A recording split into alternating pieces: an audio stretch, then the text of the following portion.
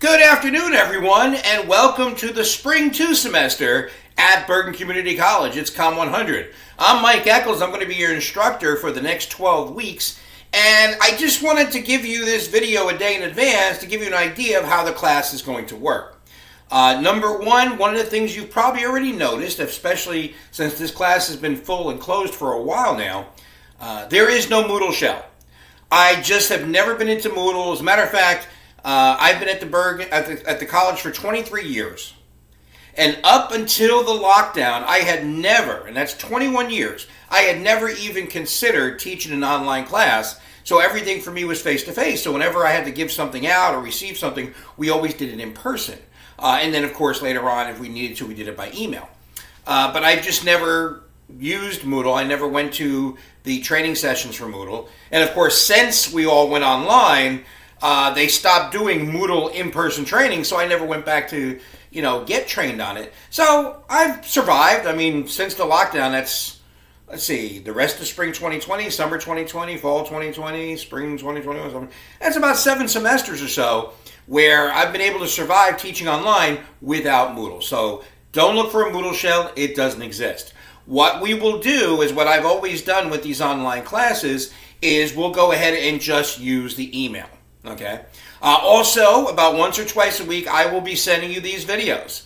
Uh, sometimes I will create brand new ones like this one.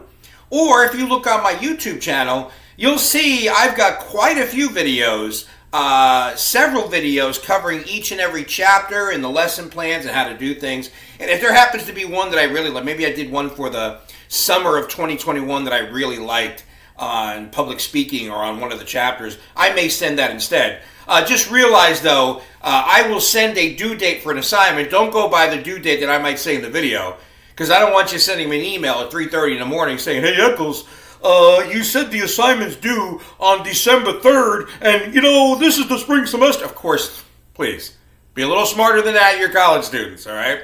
Uh, but that's the way we're going to operate is we're going to go through this email and the gmail system here works so well it really does so that's why there will be no moodle shell and we'll be working strictly through email. Also uh, the textbook. Uh, it does say in your portal that for this class it's the 14th edition of understanding human communication.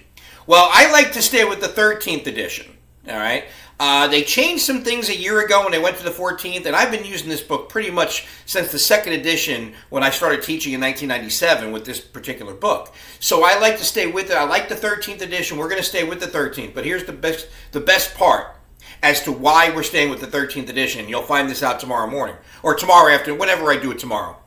Um, I will be emailing you a link.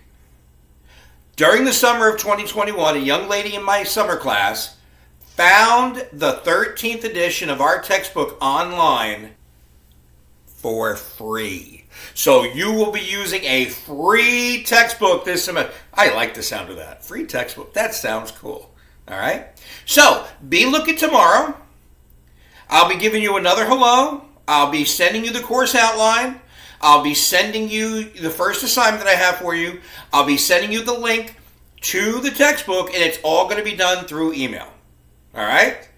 So you guys sleep well tonight because tomorrow is the beginning of spring two semester. All right, you guys take care.